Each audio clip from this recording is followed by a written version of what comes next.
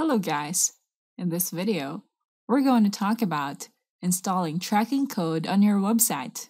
Before we begin, please hit that like button to show us your support and help our videos reach more people. Now let's get started. Do you have Google Analytics connected to your website? When your website is connected to Google Analytics, you can learn where your website visitors are coming from. Are your viewers staying to read your content or are you generating revenue from your e commerce site? This data can help you make improvements to grow your brand or your business. As you connect your website with Google Analytics, you can understand the engagement of your viewers on your website. You can also customize the reports that you can view from your analytics based on the data that is collected from your site. It is important to install your Google Analytics tracking code on your website. Once you created a property, and a data stream for your website, you can start installing your Google tag using a website builder or CMS, or you can install it manually. First, log into your Google Analytics account. Click Admin. Under Property, click on Data Streams. Choose the data stream that you have created in the section. From this window, look for the Google tag, then select View Tag Instructions. From this window, you can install your Google tag using a website builder or install it manually. First, let's choose to install it manually. Now to install the Google tag on your website, you need to copy and paste this code on every page of your website. Your web developer can add it for you. If you'll be the one to add this code, look for the head HTML elements on the top of your website's HTML code. You need to paste this entire script inside the head HTML codes like what you see in this notepad.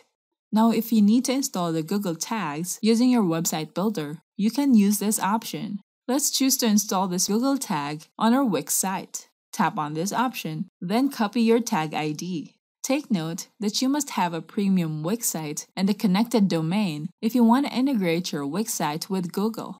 Now sign in to your Wix account. From the Dashboards menu, look for the Marketing and SEO section. Browse this page and look for the marketing tools. Here you can find the marketing integrations. And this is what you need to access so that you can connect your Google Analytics to your Wix site. Click the Connect button under Google Analytics. You may notice that this message shows you that you need to upgrade to the premium plan if you want to connect to Google Analytics.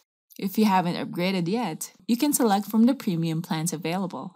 In the section, make sure that you have set up a Google Analytics property so that you will have a property ID to use here. You can find the property ID as the measurement ID. Copy this measurement ID and paste it on the marketing integrations on your Wix site. Just paste it as shown here, then click Save. Once you follow these instructions, your tag will be successfully installed on your Wix site. And that is how easily you can install your Google Analytics tag on your site. If you need to turn cold leads into loyal customers, we have a marketing app that can help you get more customers with cold email marketing. Pursue app is the most powerful cold email platform than any other alternative. You can run perfectly designed killer cold email campaigns that turn leads into buyers fast. You can create personalized cold email campaigns, create custom email journeys for your customers, create powerful event and trigger system, and watch how your leads react to your email. Set and forget your profit cold email campaigns with Pursue app. Step 1. Create your campaign in Pursue app. Step 2. Switch on the campaign and let the mails go out. Step 3. Watch the cold leads warm up and embrace your business. So try Pursue app now. Go to getpursueapp.in. Don't forget to hit the like button and subscribe to our channel. I hope you find this video helpful. Thank you for watching, and I'll see you on the next video.